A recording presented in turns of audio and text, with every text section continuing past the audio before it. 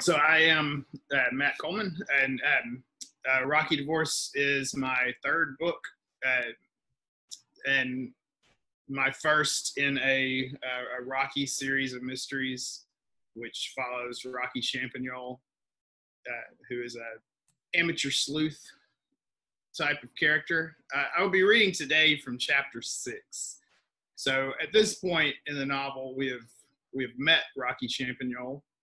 We have learned that she is recently divorced uh, out of a what was a very bad marriage to a not so great guy, and she has been pulled kicking and screaming into the local chapter of her uh, her town, Texarkana, which is my hometown, basis of the book. Uh, she's been pulled kicking and screaming into her local chapter of the Junior League Texarkana, which, for those of you who do not know what that is, that is a, a woman, a women's charity group. Wonderful, wonderful group of, of women um, who do great work, great charity. And um, but but Rocky is a little cynical about the the women of the junior league and their socialite status I think you could put it. So she's been pulled into this by her cousin Jen, who is also trying to convince Rocky to help solve a series of home invasion robberies that are happening to some of the older members of the junior league because Jen believes that if Rocky were to do this, which is in her skill set, that they would solidify their position in the junior league. So she has she's trying her hardest to convince Rocky to help with this. Um, Rocky is not interested, and um, is simply going along because she does find the causes that they're working for worthwhile, and she believes that Jen is pulling pulling her along to help raise some money for some of the causes that they're working on. So that's where we are. We in chapter six, and with that, I will jump right into it. After spending her Sunday zombified by the news about Waverly St. Laurent, Rocky wanted to spend her whole Monday in bed, at least until her junior league fundraising meeting at 3. Jen, however, subscribed to far different ideas. She barraged Rocky with a text campaign for them to keep a lunch date Jen made on their behalf. Rocky held strong until mid morning when the rumbling in her stomach began to overshadow the buzzing of her phone.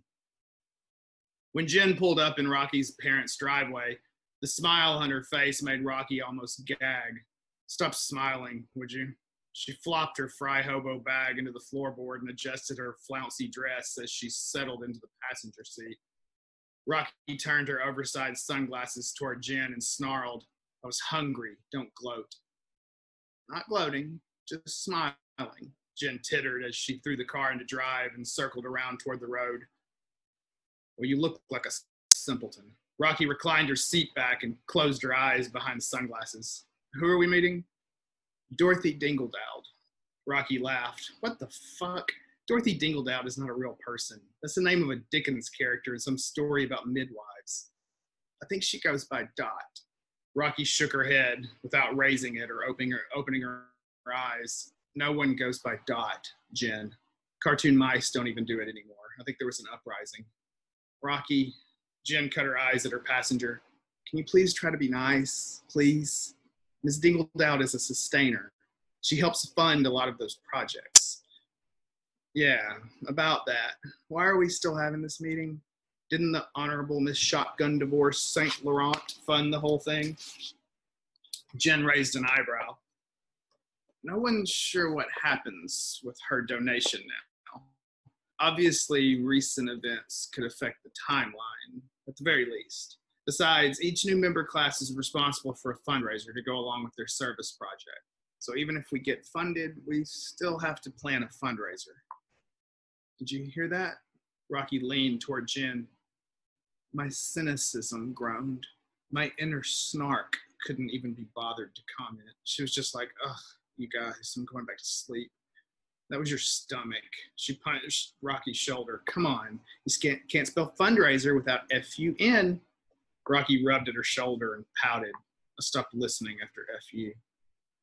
Rocky ate almost every meal at local eateries, a habit she picked up from her father.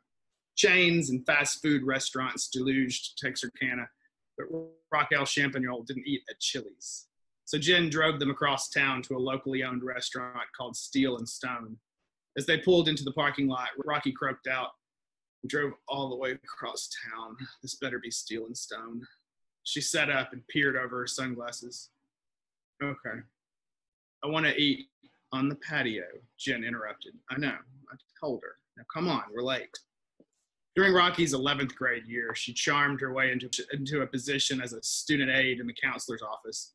Her goal, which she achieved, was to access her schedule for her senior year of high school and leave first period blank. Rocky never made it on time to anything. Once inside, the hostess informed Jen that she had seated the party they were meeting on the patio. Rocky pushed her sunglasses into her hair as they weaved their way behind the spry 16 year old, guiding them to their table. As they stepped on the patio, really more of a partially covered deck, Rocky laughed audibly. Jen elbowed her in the stomach, to which Rocky replied, What? Jesus, look at her, Jen. I take back my previous objections. This woman is totally a dot. Dorothy Dot Dingledowd wore a pair of reading glasses hanging onto her nose for dear life. As they started her way, she flipped them down to hang by their bejeweled string around her neck and pulled the thick lensed John Lennon round glasses out down out of her hair to get a better eyeful of Rocky and Jen. She wore her hair, her most composed feature, in a neat bob. One Rocky thought not unlike what one would imagine a cartoon mouse might ask for if she were to be granted a head full of hair and a $15 gift certificate to Supercuts. Even in the heat of summer, she wore loose, flowy, and layered clothing. While Rocky wore a silky summer dress and Jen a stylish pair of cuffed shorts with a striped top, Dot sported a cardigan over a cardigan. She wore an ankle length dress of many colors and croc sandals. Jen gave a broad smile and greeted Dot for them both. Miss Dingledowd, so nice to see you again. Thanks for meeting with us. Call me Dot, please, and thank you. I never socialize. If I'm not careful, I could let myself turn into a recluse. I appreciate a reason to meet someone. She turned to Rocky. You must be Raquel. Rocky flashed her people smile, flipping the cynical switch into the off position and going full tilt social butterfly. Yes, ma'am. Jen here has told me all about you. So interesting. Jen cut her eyes at Rocky as they all settled at the table. Dot fluttered her eyes and grinned. Oh, like what? Well, Rocky placed her fingers on her bare chest in a delicate strum between the collarbones. I so wish I'd learned an instrument. I always love to meet someone who's musically inclined, especially a pianist. I'm filled with such a delightful mixture of envy and wonder. Dot blushed. So sweet of you to say. I'm not sure I consider myself a true pianist. I, I dabble, I suppose. She frowned at Jen. I wasn't aware you knew. Jen shrugged. Oh, modesty. Rocky laughed and shook her head. I would imagine you would also refer to yourself as a bird watcher. She squinted one eye. Our granny used to tell us the difference between being a bird watcher and being a true birder. Dot's eyes grew wide and she looked back and forth between the two Champagnol girls.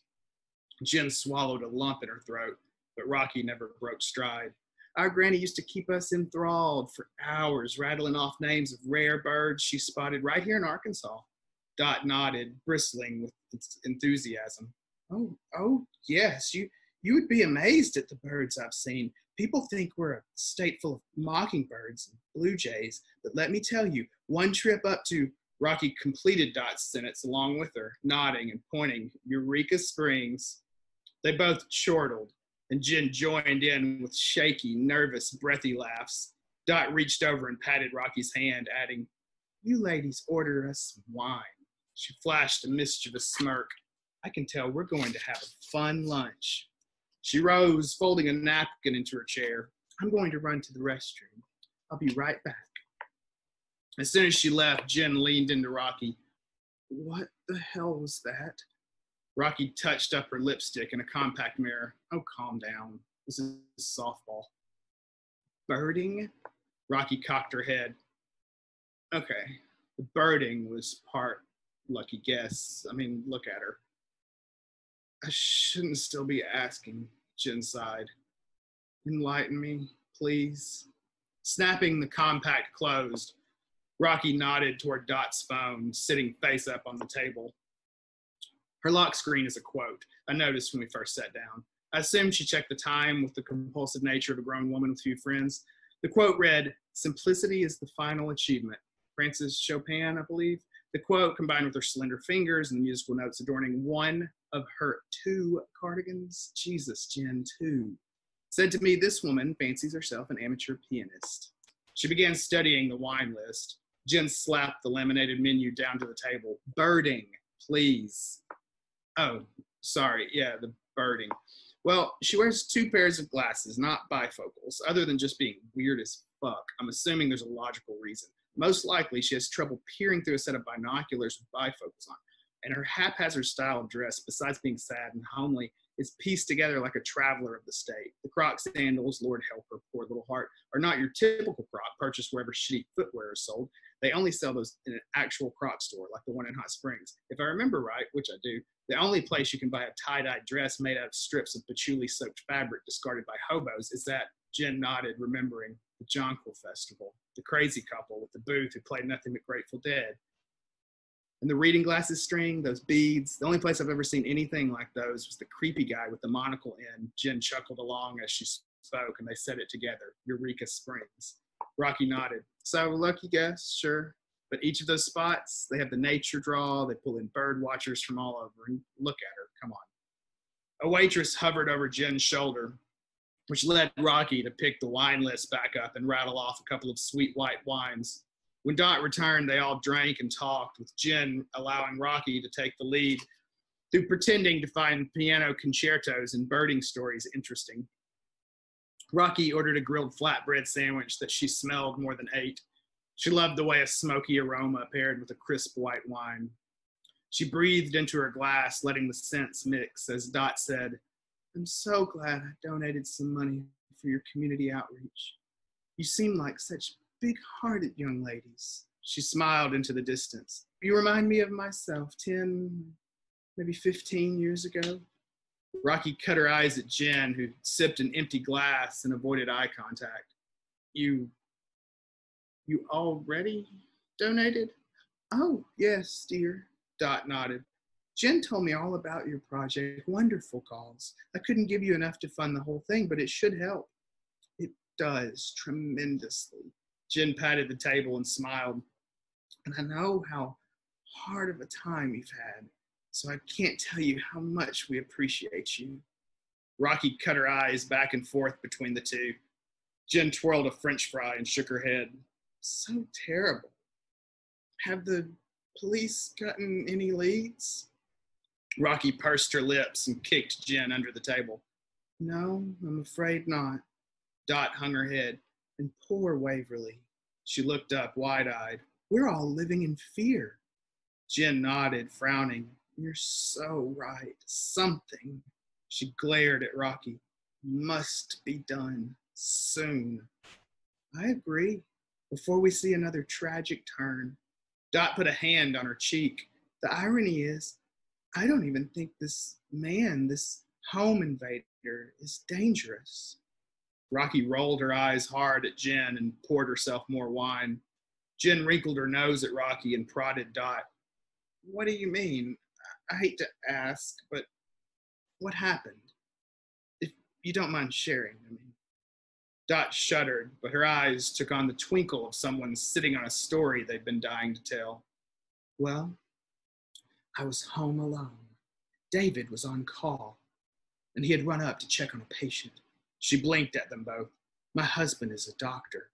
Yeah, we'd made the deductive leap, thanks. Rocky drained the last of a bottle and whirled it at the waitress for another. Jen punched Rocky's leg under the table, which caused Rocky to titter at her like a frightened meerkat. But she relented and forced out a sober.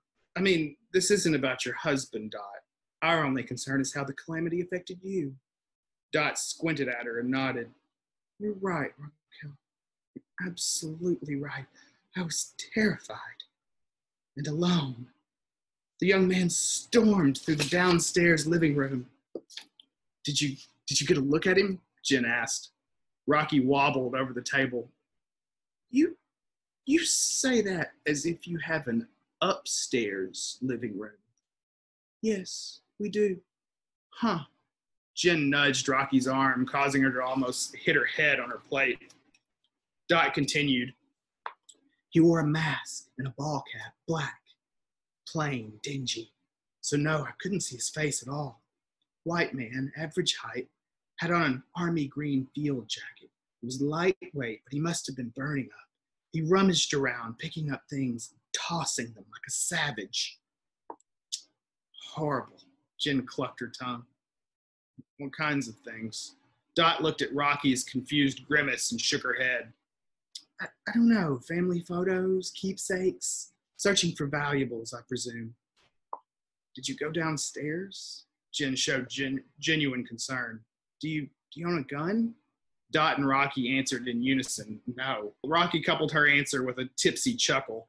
Jen kicked her under the table. Rocky responded with an up and down wave of her hand in Dot's direction. Fortunately, Dot closed her eyes when she answered and shook her head with them still squeezed shut. No, no, no. We detest violence. I did call down to him, though. I asked him very politely to leave.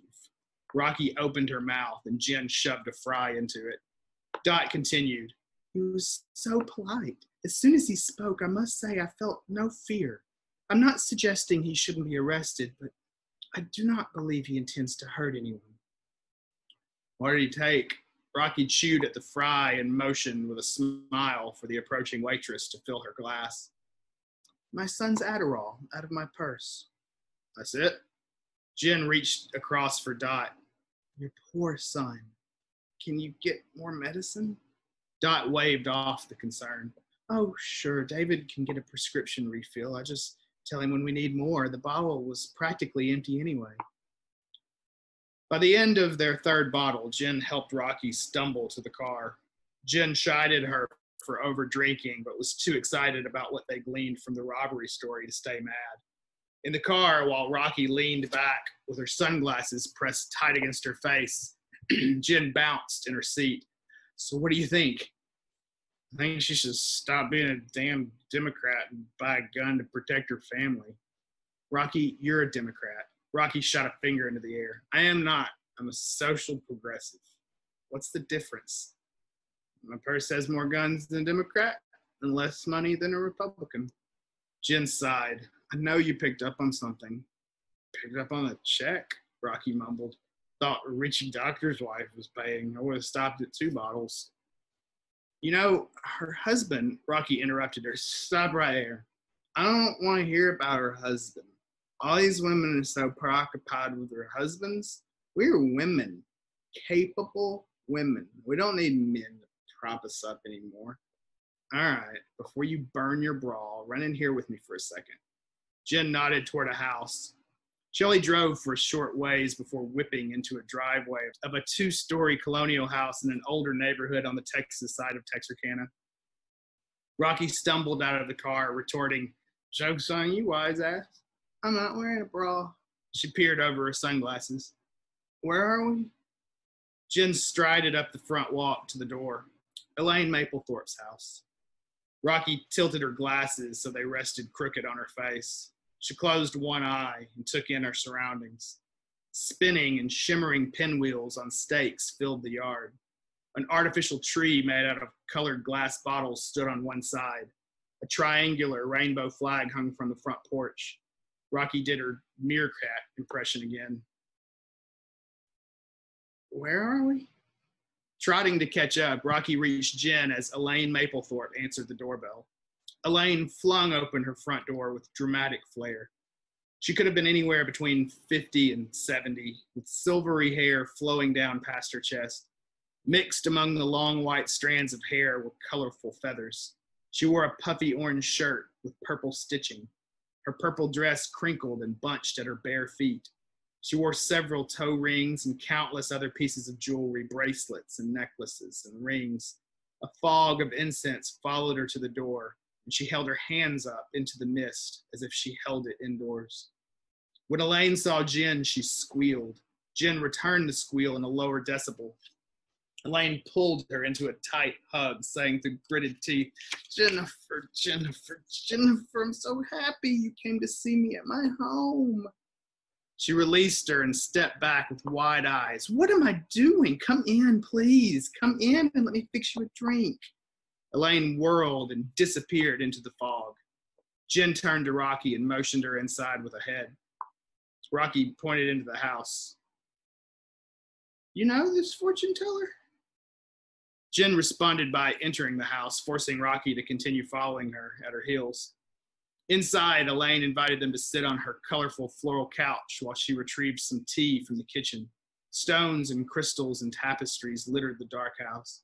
Elaine returned with a tray of tea, steaming with a faint trail of jasmine scented smoke. She poured them each a cup, apologizing. It's a little weak. I'm so sorry. Would you like some sugar? How do you take your tea? Cold and sweet. I don't like hot liquids. Jen elbowed Rocky, knocking off the sneer Rocky gave to the cup offered her. I mean, this is perfect. Thank you. I like my tea like I like my men. Transparent, bitter, and disappointing. Elaine smiled. You must be Rocky. I've heard about you. Rocky pretended to take a sip and set the cup back down, raising her eyebrows in a non-verbal compliment of thanks.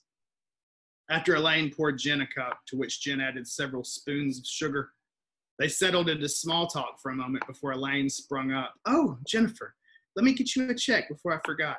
Rocky turned to Jen as Elaine scrambled off and mouthed, check. Jen nodded, and Elaine came back to the room writing in a checkbook. I can only donate a thousand, but every little bit helps. Such a wonderful cause. Oh, this is more than generous. Thank you so much, Elaine. Jen nodded and accepted the check with a bowed head. And herewith, she paused, eyeing Rocky. Everything you've been through,